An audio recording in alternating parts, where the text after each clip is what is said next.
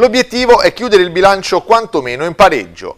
Anche se non direttamente, il presidente di Civitavecchia Servizi Pubblici, Fabrizio Lungarini, risponde così alle polemiche degli ultimi giorni, partite nell'ultimo Consiglio Comunale sull'assestamento di bilancio e relative alle perdite per la partecipata del Comune di quasi un milione di euro nei primi sei mesi del 2022.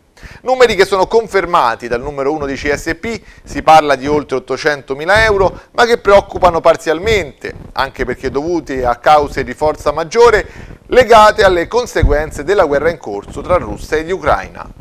Abbiamo a che fare con una serie di agenti esogeni sui quali non possiamo intervenire, spiega Lungarini, come l'aumento del gas metano per autotrazione, il cui costo è passato da 0,8 euro agli attuali 1,8 euro al chilogrammo e che incide in modo significativo sui nostri mezzi che viaggiano per 600.000 km all'anno.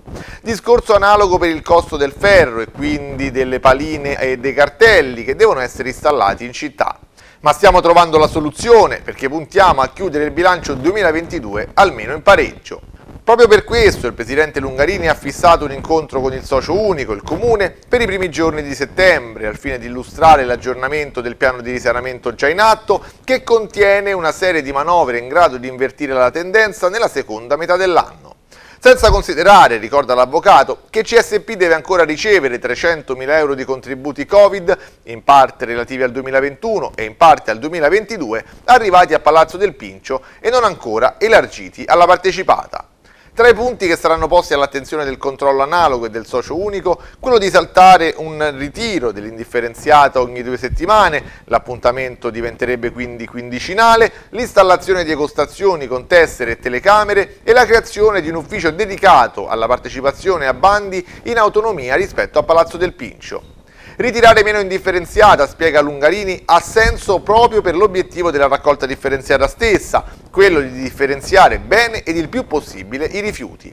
Ci sono tante idee in ballo, non capisco la polemica sui soldi che il Comune ci ha corrisposto e ci corrisponderà, visto che sono perdite Covid certificate.